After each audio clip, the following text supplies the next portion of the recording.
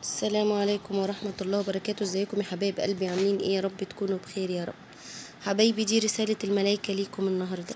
الرسالة تشوفها في أي وقت بإذن الله هي لك. لك فيها رسالة عايزة توصلك في هذا التوقيت بإذن الله. ورسالة النهاردة بتنبهك لشيء مهم.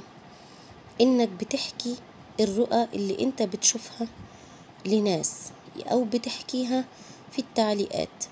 يا ريت اللي دخل منكم في موضوع الروحانيات أو ابتدت تظهر معاه علامات في الرؤى آه، باينة وواضحة يا ريت ما يحكيش أحلامه في التعليقات لعله خير له. اللي مثلا هيقول لي طب أنا مش عارف أفسر الحلم ده معناه إيه ومش فاهم الروحانيات عايزة مني إيه أنت هتفهم واحدة واحدة.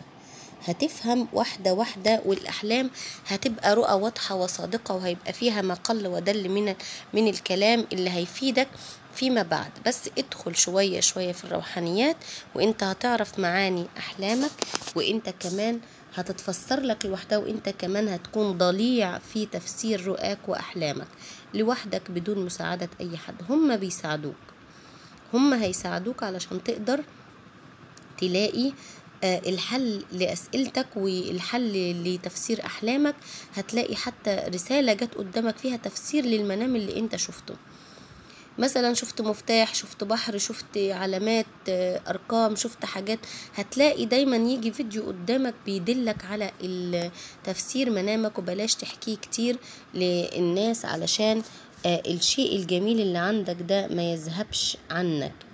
لأنك معك قوة روحانية عالية بتساعدك ومعك كمان يعني ما شاء الله نورانيات محاطة بك من كل اتجاه بتحاول تمدلك ايد المساعدة.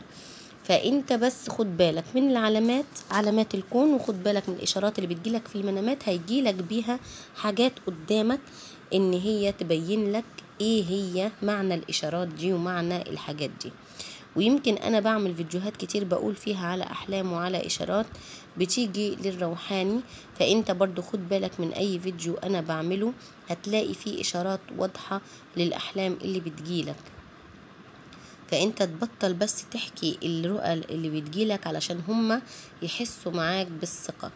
إذا الروحانيات حسوا إنك مش أهل للثقة دي مش هيخلوك آه، آه، ثقة لهم ولا هيدوك.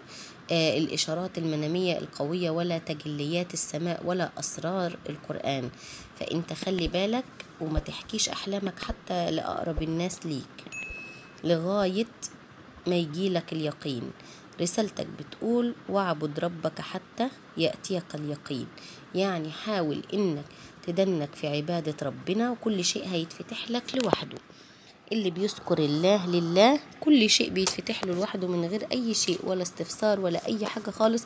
وكل شيء هيتفتح لك من غير أي حاجة أنت تتخيلها. هتلاقي كده المساعدة الربانية المساعدة الإلهية. كل شيء بيجيلك واضح لأنك ماشي على الطريق المستقيم.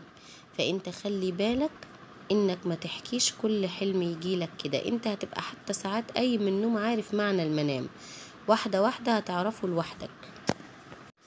ما شاء الله جايلك آية جميلة من سورة يوسف آه، وهي بتقول بسم الله الرحمن الرحيم وكذلك يجتبيك ربك ويعلمك من تأويل الأحاديث ويتم نعمته عليك. يعني أنت ربنا اختارك لمهمة معينة أو رسالة معينة في الحياة. ربنا عايزك تكملها. عايزك تستمر في اللي انت بتعمله.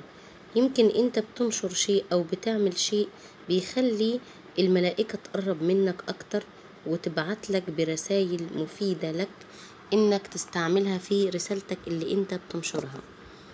آه، الروحانيات اللي حواليك عايزة تدلك على شيء معين انت تعمله بس انت مثلا آه، مش عارف إيه هي رسالتك بالظبط. في ناس كتير عارفة رسالتها وبتأديها وبتقول إن شاء الله ربنا هيجازيني عليها خير ولكن في ناس مش عارفة لسه تتواصل التواصل الصحيح وكلما اجتهدت كلما زاد التواصل وعرفت إيه هي رسالتك. انت اللي هتكتشفها لوحدك. انت اللي هتعرف إيه رسالتك في الحياة وانت لازم تعمل إيه آه، في حياتك.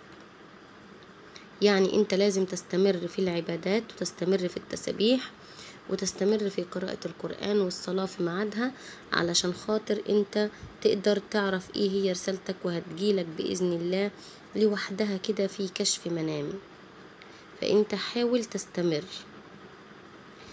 آه، في هنا كمان يا جماعة رسالة للبعض منكم. آه، بي دايما بيقول مثلا أنا ليه مختلف عن الآخرين؟ أو مثلا ليه كل ما أقول رأيي لحد الناس ما بتاخدش برأيي أنا أو ما بتاخدش بكلامي أنا كأني مثلا بيهزأوا بكلامي بيقولوا عليا مثلا آه إيه اللي هو بيقوله ده كله كلام فاضي؟ يعني مثلا بيخلفوك في الرأي في حاجات كتير. ممكن أنت تقول كلمة والناس تعارضك فيها. يعني انت مش عارف آه، تمشي على شيء معين انت عاوزه. كل الناس اللي حواليك مختلفة عن رأيك اللي انت عايز تعمله. فانت ملكش دعوة بالآخرين. يعني ما يهمكش سؤال الآخرين. انت ما تسألش حد عن آه، الشيء اللي انت عايز تعمله لأنك انت قادر تعمله بدون مساعدة أي حد. انت ربنا بيساعدك لوحده بقوة روحانية بعتها لك جند من جنود الله تساعدك. فأنت ما تسألش حد عن رأيك في الشيء اللي أنت عايز تتمه أو أنت عايز تعمله. اعرف إن كل الناس هتبقى مختلفة عنك لأنك أنت شيء وهم شيء تاني. اعرف إنك أنت فيك شيء لله يعني فيك شيء ربنا بعته فيك أو إداك هبة ربانية أو هبة روحية من عنده علشان تساعدك في رسالتك في الحياة أو تساعدك في مهمتك أو تساعدك في حياتك عامة علشان ربنا عاوزك تكون في حياة أفضل من اللي أنت عايشها. ربنا عايزك تبعد عن الظلم اللي أنت عشته والحزن اللي كان مالي حياتك. ربنا عايزك تبقى في أحسن حال. واعرف إن مش كل الناس هتبقى رأيهم واحد. ولو شاء ربك لجعل الناس أمة واحدة ولا يزالون مختلفين. يعني اعرف إنك آه، مفيش آه، حد هتلاقيه زي التاني ابدا. كل واحد هتلاقيه مختلف عن التاني. إذا كان في طبعه أو في سلوكه أو في آه، الروحانية حتى اللي معاه ممكن أنت معاك شيء وهو معاه شيء تاني. يعني ما تحاولش إنك أنت تاخد برأي حد خليك في رأيك أنت. أنت معاك جند من جنود ربنا بيساعدوك. فإذا عوزت تسأل عن شيء اسأل جنود ربك. اسأل ربك أن يسخرهم لك واسألهم في خلوة عن الشيء اللي أنت عايز تفهمه وهم هيوصلوا لك الرسالة إما في منام وإما في شيء يقع قدام عينيك. لكن ما تسألش البشر. أنت أصلا غير البشر اللي حواليك. أنت إنسان فيك هبة ربانية فيك شيء نوراني من عند الله. ربنا بيرسل لك علامات كتير تبين لك إنك مختلف عن الآخرين.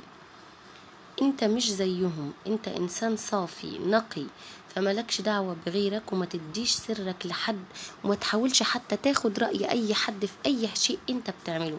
اللي حتى مش هيفيدك هيضرك بحسد أو هيضرك بعين أو هيتعبك في حياتك بإنه هينقل اللي أنت قلته في قيل وقال.